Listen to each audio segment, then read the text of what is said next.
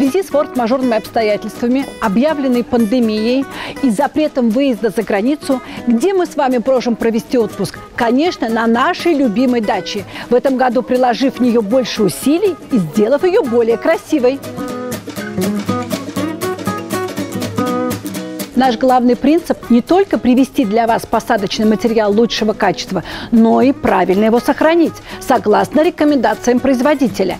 И поэтому у нас есть холодильная система, в которой создана оптимальная температура плюс 5 градусов. Все растения хранятся здесь и выкладываются на витрины постепенно, по мере продаж. Начнем, например, с пионов – как вы знаете, пионы – это любимый цветок наших дачников. Ассортимент пионов у нас огромный. Есть пионы молочно-цветковые, есть древовидные и, конечно, любимые нашими дачниками – итто-гибриды. Для себя я уже выбрала несколько фаворитов, которые хочу приобрести в этом году. Это, конечно, Мисс Америка, необычной расцветкой молочно-цветковый пион Мистер Эд. И, конечно, возьму свою коллекцию пионов обязательно Генри Бокстос. Это самый ранний пион. Он фаворит среди всех э, темных пионов, лидер очень многих выставок.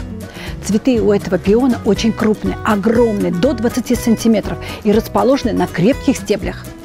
Давайте мы откроем этот пион и посмотрим, что же нам в дальнейшем делать с этим растением? Посмотрите, росток просто превосходный, он давно уже просится на свет, и оставлять его в таком виде в пакете просто будет нецелесообразно. Работаем мы, конечно, в перчатках. Мои любимые розовые, перламутровые. Перчатки нитриловые, очень качественные, очень прочные. Я их называю перчатки для девочек. Отряхиваем немножко торф с корней и рассматриваем корни. Посмотрите, вот эти белые корни – это именно те молодые корни, через которых происходит питание растений. Они все очень крепкие, здоровые. Я не вижу никаких загноений, я не вижу никаких болезней. Просто прекрасный посадочный материал. Вот такие места среза вы можете немного обработать зеленкой, чтобы дезинфицировать место среза. Мы берем вот такой вот горшочек. На дно желательно насыпать керамзит, если он у вас есть. Если нет, можно и без него обойтись. Но тогда вы обязаны следить за поливом. Насыпаю свой любимый грунт крепыш. Я считаю, что это самый лучший грунт. Он очень рыхлый, сбалансированный. Внутри горшка я сделала небольшое углубление. Ставлю туда наш росток. Расправила немножко эти белые молодые корни. И начинаю засыпать землей. Самое важное, чтобы корнях не, обла- не образовалось воздушных карманов. Потому что когда молодые корни соприкасаются, начинают расти и соприкасаются с этими воздушными карманами, они начинают загнивать. Поэтому всегда рекомендуют при посадке утрамбовывать землю вокруг саженца. Добавляем еще немного земли, чтобы хорошо закрыть все наши белые корни. Так, утрамбовали, чтобы не осталось воздушных карманов в горшке. Теперь нам необходимо вокруг немного пролить, и вы можете его выставить на балкон, где он прекрасно будет ждать своей высадки в открытый грунт. Как только земля, как только погодные условия позволят высаживать, как только вы видите, что на даче уже ваши, из земли стали подниматься ваши растения, везете смело его на дачу. Не бойтесь возвратных заморозков. В любом случае вы можете его немножко примульчировать торфом или землей. И прекрасно потом он будет у вас расти и украшать ваш сад. У меня сегодня удачный день. Я купила шикарный пион, прекрасный, до подорожания. Как вы все знаете, цены сейчас растут. Но это еще не все. Красоты очень много, и мы с вами едем дальше. Лилейник в этом году мы привезли очень много. А, есть старые знакомые сорта, но очень любимые э, нашими дачниками. Те, которые показали свою неприхотливость, а, очень пышное цветение, долгое цветение. Это такие, как Divas Choice, Pink Madonna, Tiger Blood. Но я сегодня хочу вам показать четыре новых сорта лилейников. Обратите внимание, это грейп щербет, Little Point, это Purissima Emperor. Это относится к группе лилейников Endurance. Необычная окраска, гофрированный край, очень крупный цветок и повторное цветение. Посадочный материал у этих лилейников просто превосходный. Посмотрите, какое корневище огромное. Очень много белых питающих корней, о которых мы с вами говорили в пионах.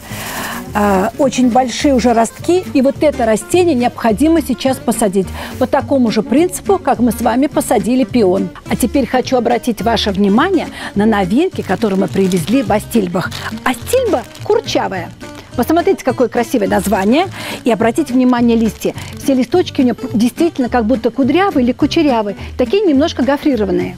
Если мы посмотрим на корневища астильбы, корни здоровы. И вот они, посмотрите, вот они у астильбы, маленькие закорючки. И это и есть ростки. Наша астильба тронулась в рост, но она еще совершенно маленькая. Сажать ее не обязательно. И сохранить я рекомендую ее вам в следующем виде. Мы берем вот такой вот крафт-пакетик. Туда высыпаем остатки, остатки торфа из пакета. Кладем туда аккуратно корневище.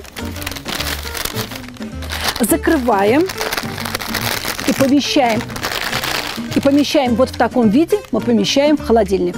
Можно даже в тот отсек, где у вас находятся овощи и фрукты. Это основные принципы сохранения вашего посадочного материала. Чего бы они ни касались, э, либо корневища, либо луковиц. Если вы видите ростки большие, значит вы сажаете в горшочек и ставите в более помещение с более низкой температурой, чем в квартире.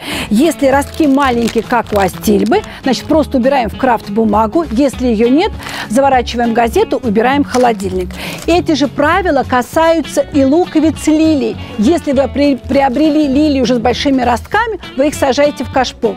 Если лилии еще ростки маленькие, убирайте в холодильник. Кстати, в этом году мы для вас привезли лилии э, патио. Это низкорослые лилии, у них очень маленький рост, всего 25 сантиметров, специально для тех, кто любит выращивать лилии в кашпо. Посмотрите, вот такие вот малышки, но при маленьком своем росте они имеют огромный цветок. И, кстати, у многих у них есть аромат. А для любителей стандартных высоких лилий мы привезли в этом году новый лаги-брид Алинейр. Хочу обратить ваше внимание вот на эту красивую, нежную, изящную кайму. Мне кажется, что смотрится очень круто. Климатисов у нас очень много. Мы выделили для них целый стенд. Здесь есть старый, хорошо известные, проверенные, полюбившиеся сорта нашим цветоводам. А есть новинки, одну из которых хочу вам сегодня показать. Климатис под названием Веноза виолацеа. Посмотрите, какая у него необычная окраска. Кстати, этот климатис подходит как для гурманов, так и для новичков. И в интернете про него пишут, что он светится по ночам. Очень часто цветоводы, выбирая климатис, как обычно, рассматривают его ростки и начинают пугаться вот этим сухим веточкам. Не нужно этого бояться, вот этой сухой веточки. Это веточка прошлого года. И вот посмотрите, вот отсюда из пазух идут совершенно новые здоровые веточки. И через некоторое время все пазухи закроются новыми ростками. Продолжим тему новинок, только теперь среди роз. На фоне всех роз, чайно-гибридных, почвопокровных, плетистых, парковых, я хочу обратить ваше внимание на одну новинку флорибудды – это роза четырех ветров, имеет густые, крупные махровые цветы. Кстати, у нее пышное, обильное цветение, и у цветов нежный, приятный фруктовый аромат. Мужчины выбирают инструмент и правильно делают, потому что все инструменты сейчас будут дорожать в связи с повышением курса доллара. Я для себя выбрала вот такой вот мичуринский секатор. Он просто превосходный, прекрасен для женской руки.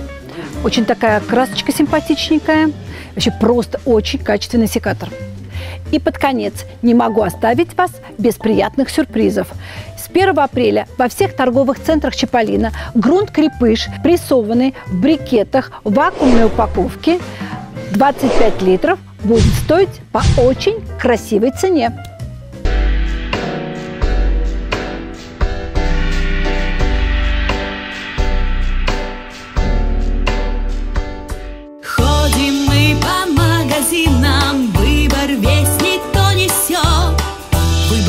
Чиполлино.